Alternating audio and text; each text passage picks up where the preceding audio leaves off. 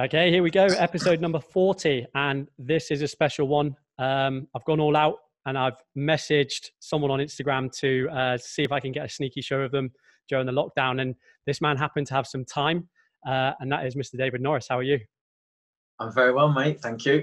Welcome and thanks for coming on. Um, I think I'm going to have some jealous friends back in the UK, Cornwall, Devon area, obviously Argyle legends. So um, I'm sure they're going to be listening to this one. But uh, do you want to just give yourself a little bit of an introduction to who you are? Yeah, so yeah, sure. So my name's David Norris. Um, I'm a former professional footballer. Um, I played at Bolton, uh, Plymouth, Ipswich, Portsmouth, Leeds, and Blackpool, uh, and I'm still playing now semi-professionally. Um, I also have two small functional gyms, um, and I'm a personal trainer. Yeah, so I, you've got uh, CrossFit UF, is that right? Yeah, that's right. Yeah. So is that where you do most of your training out of your own training and stuff? Yeah, that's where I do most of my own stuff. Yeah, the um, what happened was as I was coming towards the end of my football, I wanted to set up um, a gym, uh, and um, I had a friend uh, who was uh, who'd been gyms, run gyms himself, and so I got involved with him. I wanted to make it just strength conditioning. I didn't know too much about CrossFit at the time. He was very CrossFit, so uh, we went affiliated and so we could cover a bit of both and, and that's why that one's that one. And i have another one uh, across towards leeds which is just a small functional gym. Uh, covers the same sort of training but it's not crossfit yeah okay cool so what i want to do mate is um, kind of just go through two different areas maybe just to begin with just go from you know you as a professional because i think it's really kind of interesting your lifestyle and your type of training then how you transitioned out of that and then obviously you're transitioning into like the fitness world as well working as a personal trainer, as a coach, that type of stuff. Um, so, do you want to just give a little bit of an insight into, you know, um, your life as a professional footballer in particular? You know, your fitness levels, your daily lives, nutrition, sleep, all of that stuff. Yeah, sure. So, to be honest, throughout my whole career, it was it, I felt like it was a bit of trial and error. Um, you know, there was always different things coming out every few years of, of the best way to do this uh, and, and, the best way to do that. And I was always massively into my fitness. Um, I would say technically, I was never the best player, but I was always going to make sure that I was the fittest and, and, and you know and strong and, and, would play lots of games um, and be available. So I was banging into my fitness all the way through. Um, and then I started. It started well because I went to Bolton as my first professional club under Sam Allardyce, who was really into any sort of small percentage he could get. So when it comes to fitness, nutrition, uh, he was bang on it, and that gave me a little insight into it. And then I, I started to really like enjoy it, and you know, I, I, kept on top of it. You know, then throughout my whole career. How much did um, I guess this is going on a little bit of a tangent, but obviously like the basic fitness levels, how much uh, emphasis did you have to place on like the nutrition side of it? Uh, quite a lot. When I was younger, I, I didn't really to be honest, I, I, wasn't too fussed. You think you can, you know, eat, drink everything and still get away with it. I think it affects you more as you get older. But when I was younger, we would used to get um, weighed and body fat tested um, reasonably regularly. So that was the only pressure you really had. Other than that, you almost left your own devices, especially earlier on. Um, and so I like my food, and so I would uh, I would probably um, try and out train, you know, a not so great diet early on. Yeah. Um, and then as I got more and more uh, into it and, and, a bit more aware and a bit more, you know, of what how much I needed to be uh, on top of my game and, and, and, at them top levels, then I started to take a bit more care about it. I just wonder because um, I know that you you do a bit of training with boxers and that type of stuff as well. And I had Brad Pauls on, who's a professional boxer, on one of my shows not long ago, and he talked about this mindset that he's got. Obviously, that you know that training camp, twelve week mindset leading up to a fight, where he's you know completely dedicated to the cause. Um, but he said what really makes a great fighter is the one who can kind of control themselves outside of training camps as well. And he brought out brought up examples like you know Ricky Hatton and that type of stuff. How how is that kind of the same in in the football respect? Uh, it, it it does it has you know cross paths. Um, it, it, there is some similarities. Uh, to when, when I was first um, when I was at Plymouth, to be fair, and we would finish the season, I would take four weeks and just do nothing, next to nothing, eat and drink, I could be, you know, three quarters of a stone heavier yeah. in three or four weeks. And then I would just smash it, starting, you know, training again. Uh, and then the last two weeks, I might as well have been back into training anyway because I'd just be trying to chase what I've put on uh, to get back to that level. So it was similar for me.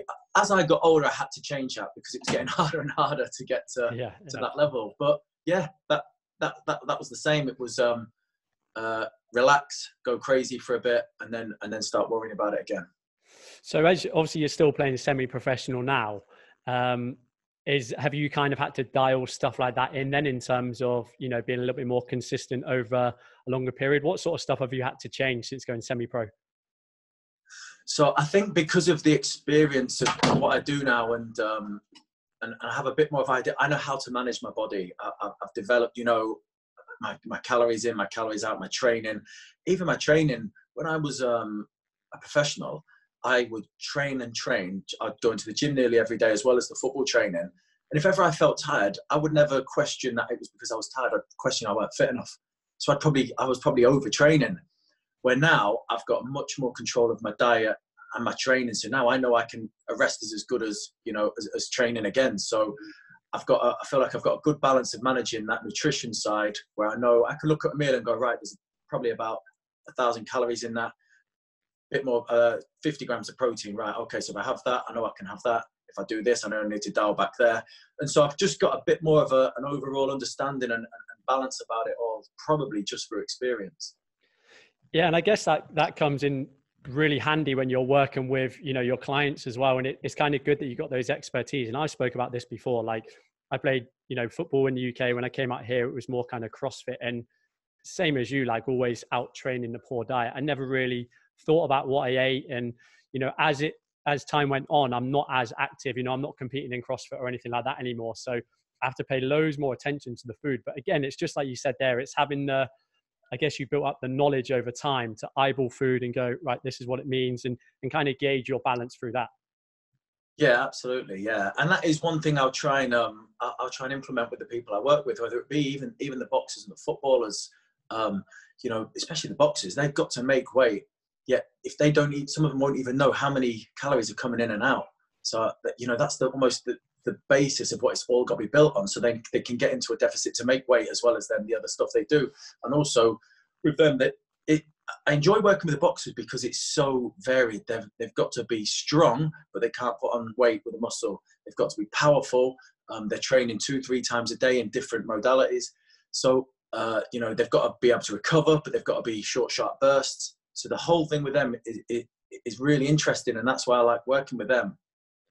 Um, but yeah, I think once once they know, once you know what what is what and what's coming in, and you can control everything a lot more. Um, you know, you'll you'll be able to you know take that forward and, and find that balance. And, and the same with you know the general uh, public that I work with. I just I'm trying to get them for the longevity of it. Get get away from all these short term fads and diets and you know not knowing you know what what's working for them and, and just trying to get them to a balance where you can have you know there is no bad foods you can have this but just know what? That if you do have this day then the next day you tone it down a bit. Yeah exactly. Everything's got to be aligned with the goal and it's it's almost just you know we're all kind of preaching the same thing. It's almost just uh, getting people to realize and recognize where they're currently at and it's probably like frightfully obvious where they're going wrong and it just takes a i guess taking responsibility for what you're doing and then just understanding that and how you can change that do you do you find that you work with i know you've just mentioned both there do you find that you work with more elite or more general population or is it kind of like a mixture yeah it's a mixture um and you know because sometimes when i'm trying to promote what i do do and they say you know you've got to find your market so which type almost down to the, the, the age group the sex and i still haven't found that because yeah. of a lot of the one-to-one stuff i do can vary from you know young guys to older guys to women to people who want to be, you know, uh, athletes to people who just want to lose a bit of weight. As then, and then I've got the professional athletes. So at the minute, I'm still working with such a broad range of different types of people, which is great for me because of, I'm still early doors in this game and I'm still learning. I'm still constantly reading and trying to get up on things. And, you know, I feel like, like I might be, what I have an experience I probably don't have in, in, in the, in the knowledge from, you know, uh, textbooks. So uh, I'm really enjoying working with all these types of people, uh, uh, and I think that's what's really helping me. Yeah, I think you've nailed it there in terms of just trying to dial in your niche, right? Like I've, I've been personal trainer coach for like 12 13 years and i'm still not sure of where who i like to work with there'll be someone coming in with like injuries and i'm like oh you know i've got a bit of injury experience or there's someone who wants to go a little bit more kind of like professional and yeah i'm sure you'll you'll work that yeah. one out um, yeah how how did you find your kind of transition into the fitness industry then? Like, from coming out of the the pro game? Uh, it was it was what I was going to be. It was what I was interested in. I mean, you get to 30, 31 as a footballer, and you you know that it's going to be only a few more years, if that. Um, and to me, fair, I got that to that age and was like, what the hell am I going to do next? Uh, what, what do I want to do? You know, I, am not really feeling the coaching and uh, management side of things. Um, but then I was into my fitness as a player. I was always interested in that, and so it was just, well, where can I take that? Do I work at a club and try and get into, a, you know, the strength conditioning side of that? Um, do I set up a gym? Do I just be a PT? Uh, but I knew that was the sort of, the, you know, the area that I wanted to go in, um, and that was what I started to look into. And the transition was good because I still, when I set up the, the gym in Bolton, I was still playing at Blackpool, so I could just drop in and out um, almost, and then when I finished, could go straight into it because that's another thing. When you finish football, there is no phase out. It's stop dead. You're not coming to training next week. Like you're yeah, wow. you're done. And so, so that can be difficult to you know. Even I struggled a little bit mentally to deal with all of that um, over the, the following year from retirement. But having the gyms was nice because it kept me busy. I could just go from one thing straight into another that I was interested in, and you know, just make that transition a little easier. Uh, yeah, that's awesome. And I guess from obviously because you've already highlighted that you work with kind of you know quite a varied clientele. Just for you personally, and, and whether you've got any training methodologies for yourself, like strength training, you know, intervals, that type of stuff. Do you have kind of like a foundation that you like to work off? Obviously, not too specific, but is there types of things that you like to do? Um, yeah, I mean, I, I, do cover a bit of everything. I like to get I like to get resistance training in there um, I like to, to, to, to, encourage them to, you know, build some muscle tone, which will obviously burn more fat when they're doing nothing, um, and encourage them to, you know, to get away from that. Sometimes, especially with the women, the myth of, well, I don't want to get big. As soon as you stick a barbell or, yeah, yeah. you know, something in front of uh, some of the women, they're a bit like, well, I don't want to be doing weights. I don't want to get big. And you have to encourage, like, you know, convince them, look, this is never going to happen. You're not going to be doing this five times a week. Yeah. Um, so I do like to get some resistance training in. Um, and then I just try and mix it up. I try and keep it so I can cover what I need to cover. Um, you know what I want to train, full body, but but but keeping it fun and keeping them interested. So it's not the same thing every week, but I'm still covering the same movements uh, and the same muscle groups. Um, and then when it comes to uh, say the, the footballers, it'll be footballers are hard work because of they're, they're in and out they're not you can't program for them because they're can you do me a session? Three weeks later can you do me another session? Um, so i tend to just do a cover a bit of everything with them especially off season. They'll be here there and everywhere with their holidays and visiting people. So i'll do a session that covers a bit of everything we'll do some warm-up some plyometrics some power uh, strength and then conditioning. Um, and just and they cover a bit of everything and in their head that's them checked off right i've done my session. Uh, and then when it comes to the boxers again, they're training a lot, so I tend to work with them two days a week, um, and so I do something uh, called a, um, a, condensed conjugate me- method. Uh, Phil Daru, a guy and a MMA trainer in America, um, and I f- find that works for me, um, and that's just trying to cover a bit of everything again over you know the two days of the week. So you'll do a, a strength lower body, a power upper body with a bit of conditioning, and then you'll swap that over on the second day. And I find that's working because of, with them guys, you have to work around their training more so as well. So they might say, "Well, I'm sparring tomorrow," so then you've almost got to change what you're doing so they can spar, and so you can't almost stick to a rigid plan with them. So I find that that, that plan works best for me with them. Yeah, that's awesome. And how are you finding? Obviously, now the current times, like with, like I just like I mentioned to you before, like in in the UAE in Dubai, we're on lockdown, so we're not allowed out at all. Obviously, you got a little bit more flexibility where you are in terms of being able to get out and run and stuff what are you finding i guess two questions. What are you finding your clients are struggling with? Uh, you know not having the freedom to go to a gym and lift the barbell and that type of stuff and then kind of your own training as well yeah, uh, personally, um, it's not been too bad because of obviously we had a little bit of a heads up what was going to happen here, and so I pretty much brought half the gym back to the house with me to make sure that I, you know that I was going to be covered. But to be honest, personally, I need that that mental release. You know, I, I enjoy the training, so it, it, it's great for me to help me through these times. And I think that's one thing I'm finding with clients and the people I train is is it's more the mental side of things that they're struggling a little bit with because of then they're not having the gym. Then they're starting to eat a bit more, drink a bit more. They're, ang- they're anxious about what's happening. Um, then they're still losing motivation to train. So I'm finding I'm just trying to keep them right mentally, help them speak to them, and then just change the, the, the goals for this short term. Let's ride this out. If we can go, if we can maintain where we're at at the end of, other end of this, then then brilliant. Happy days. Don't put too much pressure on yourselves to keep improving, to try and hit a goal. Let's just realize where we're at, where we're at physically, mentally, and, and adjust the goal slightly, and, and, and we can still get some good work done. Yeah, I, I find that as well. And I always, I almost feel like there's been this shift of like the obviously one of the biggest barriers and excuses that people have is not having enough time to exercise, and we've kind of gone full shift the other side of it now, and you go just want that balance in the middle. Uh, I yeah. don't know. What do you think is better, having too much time or not enough time? I know it's hard to say because you haven't got the same facilities, but yeah, well, I, I would have before. Time is one thing that you know it seems to you know hold a lot of people back, but um, they've got all the people seem to have all the time now, and, and and still some are finding it quite hard to you know to get motivated for it. Uh, I think that, that the equipment side of things is hard, and obviously it's it's quite an anxious time for a lot of people, stressful time with work and, and finances. Um, but yeah, I think normally it would be at times a big a big constraint for a lot of people. So I try and focus on even the stuff, a lot of stuff they can do away from the gym with their nutrition and, their day to day, you know, burning calories. Um, but yeah, it, it's not it's not as it's not been as easy as you thought it would have been with with that time. You know, almost not excuse being taken out of it. It's still quite hard to to keep people on it. Yeah, I'm, i mean, I'll tag you in uh, uh, in this post as well in the podcast. But you've been putting out a lot of like body weight stuff and a lot of good exercises, right, on your um, on your Instagram. Yeah, yeah. Um, I started to just um, do a little bit to, to keep myself active, and it was a route that I wanted to originally go down was to do a little bit more online. But because of um, I was 100 mile an hour, I never really got the chance, and this has actually given me a chance to you know film some content and put stuff out there. And it's been great. I've had some like great. It's, it's really nice the feedback you get, and you know, people are trying the workouts, tagging me in the workouts, and then just the messages I'm getting, just saying, "Oh, Red, thanks for that. You know, it's helping me get through."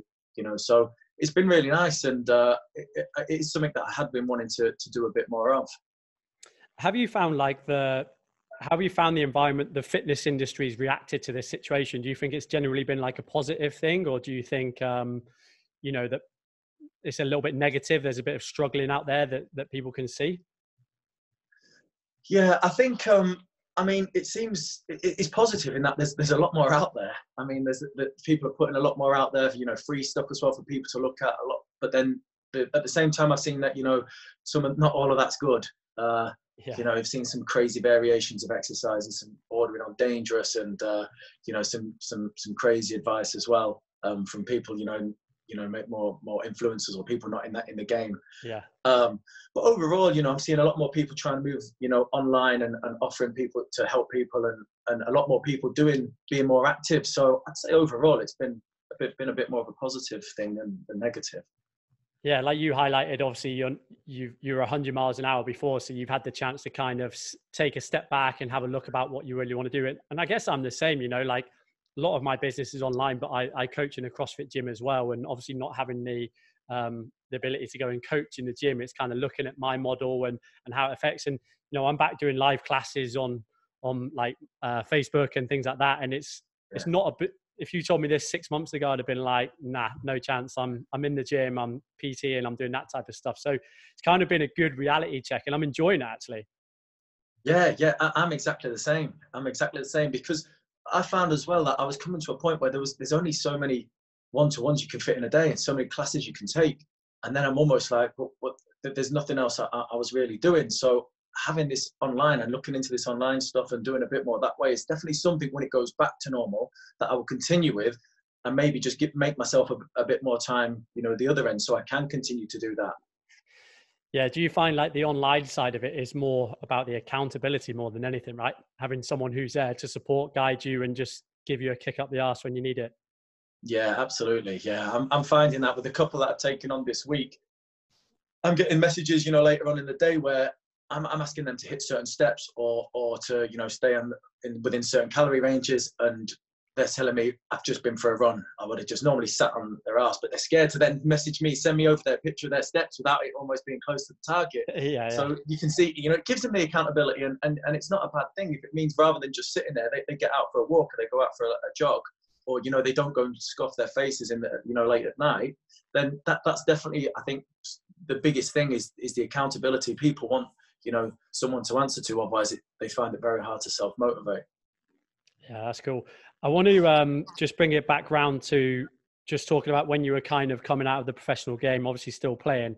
A uh, good mate of mine, Sam, massive Plymouth Argyle fan. So I told him that you were going to come on, and I asked for a question. He said um, he just wanted to know about the final years playing as a pro. Did you actually feel your body slowing down, and um, you know what things did you put in place? We kind of covered this a little bit anyway, but what things did you put in place? Did you start yoga? You know, nutrition went up another level, that type of stuff. Yeah, to be fair, I'd say I started looking at my nutrition uh, a bit more um, because of it was I, I wasn't really finding it much harder. Um, my fitness was always my game. So I knew if I just trained and, and kept hitting the same, because we, we were being monitored with, you know, for our, our distance covered, our sprint distances, there's never been a drop off in mine. And even now when I'm still playing, we still monitor that. And mine now is still very similar to when I was a pro. So I know I can keep myself fit. I've not really struggled. It's taking me a little longer to recover after games. I'm, you know, it might be normally the next day where sometimes I can be crawling on a Monday after a Saturday game still. I've noticed it in that way. But I started to take care of my nutrition definitely. Uh, I kept on top of my fitness. I always wanted to be the fittest player on the pitch if I could, because then that just mentally even give me gave me an edge. Um, but one thing I did definitely change is uh, as I hit 30, I had a knee injury and I'd never really done train my legs before. Other than when you were professional, and especially when I was younger, it was more they would write up a, a session on the board, and all the lads would go in and say, right, do three sets of these eight exercises, and you're done. There was no specificity. It was just a, a generic session. Yeah. So I'd never really trained. And in my head, I always did used to think, you know, naively, oh, look how much running I'm doing. My legs will be strong enough. Yeah. Um, and then I got this knee injury, and I went to see the surgeon, and he said, "There's so much wear and tear in your knee." He said, "You have to get your legs strong." He said, "If you get your leg, if you don't get your legs strong, you're going to be done in a year. If you get your legs strong, you'll get another four. So I then went and batted my legs and core for that time I was injured for four six months, and I come off that and thought, I wish I'd been doing it my, my whole career. Um, I felt so squatting, much better. lunging, yeah, squatting, lunging, deadlifts, uh, all of that type of stuff, and I felt so much more solid and stronger. Um, and that was one thing I changed as I was getting older. I got stronger, and that I think that protected the joints and, and was able to you know keep me going longer. Yeah, that's so true, and uh, I think a lot of people find that as when when that injury can be the catalyst effect of right, you need to do something about it now. What you were doing previously was good, but it could be better. What's the um like? You've got a good insight into this. What's the like the strength and conditioning uh, kind of game looking like in professional football? You know, as of now over the last kind of five ten years has it transitioned a lot yeah i think so. From from the reports and the feedback that i get it, it definitely seems like it has. Um, it's a lot more specific to the individual player and their needs um, and they'll get programs uh, i still think it, it's not as you know specific or as good as it could be uh, but it, but in the game it, it, it becomes all about just winning and just playing the games and so and being available for games. And so if you're playing Saturday, Tuesday, Saturday, Tuesday, that gym side of things will, will get will get pushed to the side as long as you're almost recovering and then preparing for games. Um, and, and they don't want anything to, to go away from that, which sometimes you know they, they think in their heads the strength of the gym stuff will.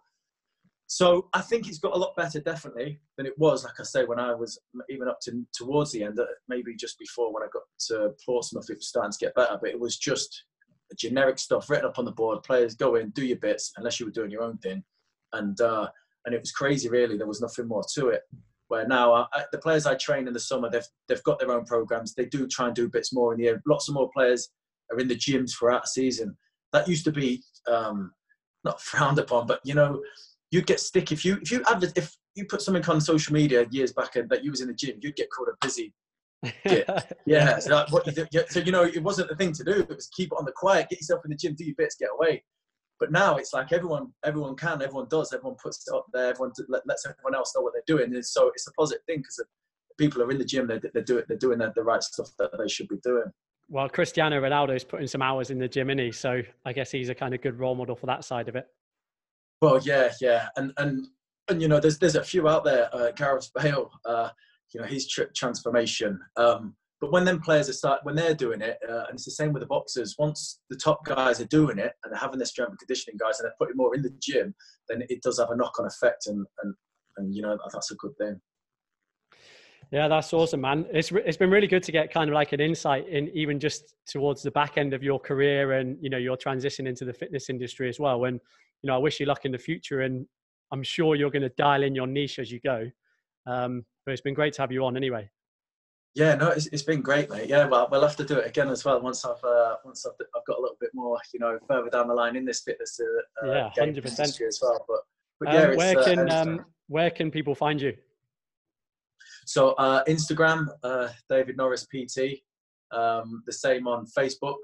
Yeah. Uh, they're the two main ones uh, that, I, that I'm using at the minute. Um, and like I said, at the minute I'm putting out, you know, free workouts um, and, and, content and you know advice, and, and, I'm giving everyone the option, you know, to message me or if they need to ask any questions, you know, I'm, I'm here to help, especially during this time. Yeah, definitely. That's super useful. I'll make sure that I tag them in. But uh, thanks again for coming on, mate. No problem, mate. Thank you for having me.